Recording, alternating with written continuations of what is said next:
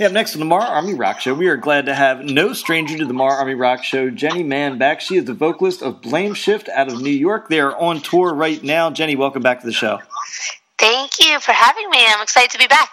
Yeah, it's been a little bit since we had you on. So, um, hey, I wanted to catch up with you. You are out on the Wake the Dead tour. So, uh, why don't you tell everybody about the tour? Yeah, we actually this is day five. Um, we are in South Bend, Indiana, right now with a band called the Nearly Dead. So we're out on the road for another about three weeks. So, how'd you hook up with the Nearly Deads? Talk about that relationship and how that tour came together. Well, you know, we've known them for a while, just being both being female fronted bands, kind of in the same scene. Um, and we've just been talking in the past about, you know, kind of hooking up and doing a doing a run together. And finally, we were just like pulled the trigger on it, you know, now or never. And uh, it's it's been really a great matchup. We have very similar fan bases, and uh, we're having a good time so far. So out available on this tour right now, you have what you call trick or treat VIP packages, and I think it's for both bands. Is that correct?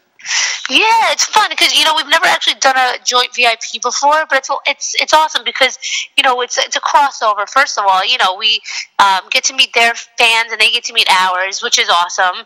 Um, kind of you know get to know each other a little bit better before you know the show starts and everything. And I just think it's a really good cross promoting, uh, a great way to just kind of like meet everybody. And we've been having a really good time doing some fun Halloween themed um, things, and yeah, it's been fun. So, like, what kind of things can people expect to do if they get get the VIP treatment? Do they uh, get to meet you backstage, get photos? What all do they get for that?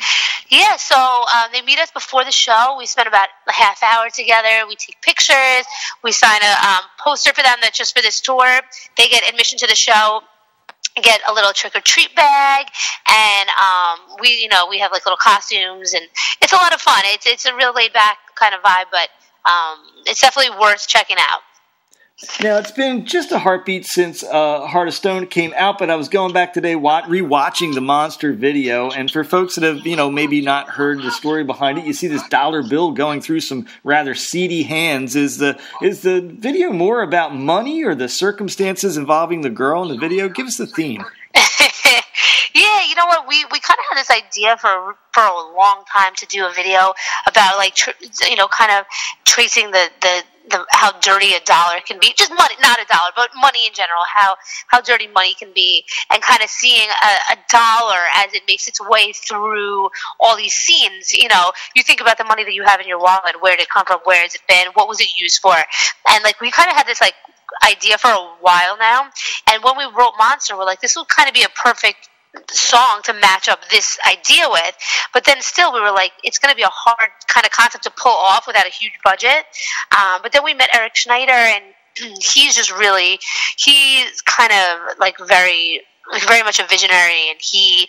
Um, he was like, "No, I think it's a great idea, and let's. And this is how we're going to do it. And this is how we're going to show the story." And and yeah, we pulled it off. And I think it's. I really am proud of that one. Video came out great, and it's a great tune as well. Off of that, once again, I mentioned that's the Heart of Stone EP for folks to go pick that up. Um, hey, I was looking back. It's hard to believe that uh, the Blameshift EP came out in 2010. It's been that long, and uh, here yeah. you are. You know, and while the original EP was good, there's no denying the band's really grown in your craft. So, what was the biggest thing that that uh, helped you grow? Was it touring? Was it producers? Was it playing? Um, well, yeah, you just hit on pretty much everything. I mean, uh, number one off the bat, I would have to say producer. Um, our producer Erik Ron, he he didn't do that self-titled EP, but he um, went on into the Black Rose, which really was like our debut. I would say like real time work, you know, first time working with a real producer who really actually wanted to help our sound and hone our sound rather than just record what we had written. You know, that's what makes a producer special is when they can take their talents and actually make your songs better. You know, because they have that expertise. So um, I think meeting Erik Ron was definitely a pinnacle um, turning point in our career, for sure.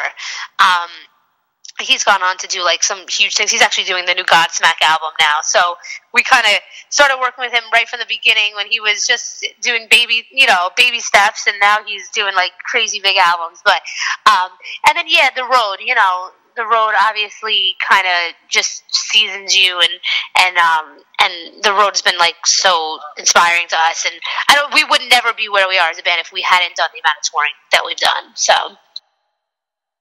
So um, on this this particular tour, you put out a post a while ago um, before the tour started, asking fans about like what cover tune they wanted to hear you guys play during this tour. So did, mm-hmm. did the fans actually vote, or did you guys pick a one, and did you did you come up with a finalist? Yeah, well, they did vote, and um, you know, people came up with you know, you know how people come up with the most obscure, random things, but it was more just like an open conversation to see what people had in mind, and um, we did pick a cover, and it's been a lot of fun. But you have to come down to see one of our shows in order to see what it is. I'm not giving it away. I've done a couple interviews already, and I've not said it before, so I'm making people come to the show to check it out. That's fine with us. I love to get people out to your shows and, and uh, check out the, the unique cover. I'm going to say it. Well, I don't actually know if it's unique, but unique uh, hidden cover. I, I, guess we'll call it a hidden cover tune that, that, only folks that see the live show know about. Now, um, this one you, you probably can tell me about though. Uh, you also had folks. You put out a post similar asking uh, people, you know, what song do they want in the set list? And I'm just kind of curious what your fan base did. It what did they come up with, and did it surprise you at all?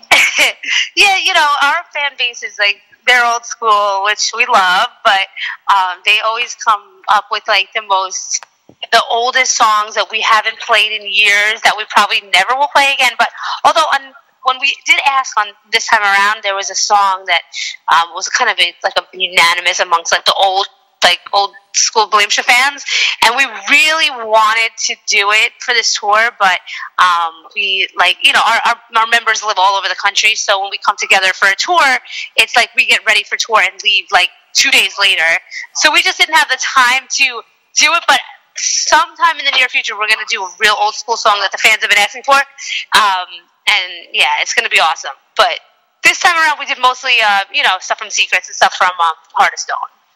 So, and you were alluding to this just then. I, I, you know, you're so often, especially like the smaller club shows, somebody will yell out a tune that they want you to, you know, request they want you to play, and I don't think people understand. You guys can't just pull everything from your catalog out of a hat, can you?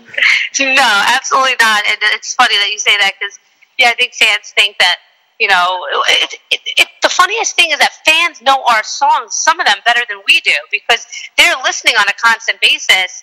And there's, you know, there's songs of mine that I haven't heard in years, you know, that because I'm not listening to my own music every day. So it's um it's yeah, it's one of those it's funny things that um yeah, it's not so easy to just whip out a song for sure. You have to rehearse it, obviously make sure you everybody knows their parts and um I wish it was that easy, but it's not, unfortunately. So, um, you know, with you guys being out on the road now, have you had any time to do any writing? Are you writing and working on some new music? Um, yeah, we definitely are going to be uh, working on some new some new stuff. We we want to go out in January to LA and record a single. Um, so yeah, so we definitely are going to start working on some stuff. We haven't yet. I mean, it's just the beginning of this tour, so we're just kind of getting, um, you know, used to the road, used to our tour mates and all that stuff. And then, you know, we'll definitely start getting creative and, and writing some stuff. So, so what does writing a song look like for Blameshift? Is it is it Tim on an acoustic guitar? Do you play on a guitar or a keyboard? Or how how does the writing look like for Blameshift?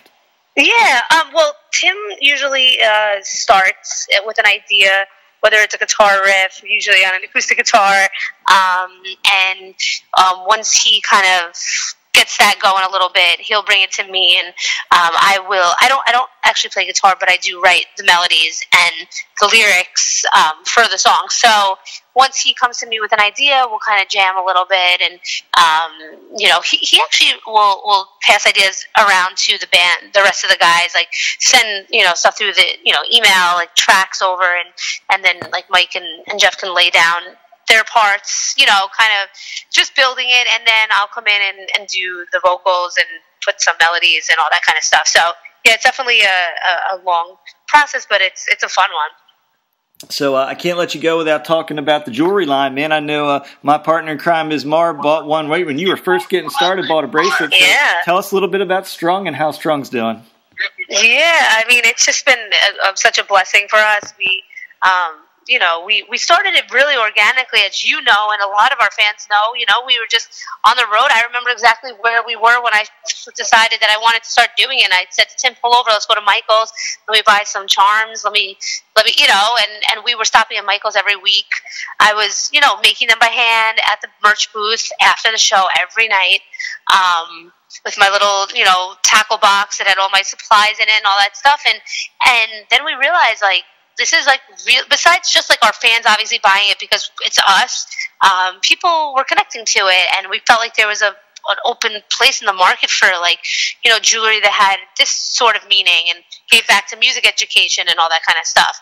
So, um, yeah, so we just went full force. We took about a year off. It's been doing really great. We're in a little over 125 stores now all over the world. We're in Japan, Puerto Rico, Canada, um, music stores, boutiques. Uh, you yeah, so we're you know we're international all over the place, um, Japan, Canada, Puerto Rico. It's just it's taken off um, further and more crazy than we could have ever imagined. We're really thankful, and it's a good deal um, thanks to our fans and our, our, you know support system. So yeah, we're really excited. So I'm going to give you a chance to uh, let folks know where to go to find it. Where you want people to go to find Strung Jewelry. Yeah, you can go to our website. It's getstrung.com. Uh, you can find all of our bracelets. We have a men's beaded line that uses the ball ends of a bass guitar string. We have necklaces, and we have a new men's line that's going to be incorporating a bass um, guitar string that's coming in um, a few months. So stay tuned for that. Hey, Jenny Mann from Blameshift out there right now on tour with the Wake the Dead tour. Uh, go see them in a town near you, especially out in the Midwest right now. They're touring heavy right out in that area. So, um, Jenny, always a good time having you on the show. I appreciate you doing this. Thank you for having me. Talk to you soon.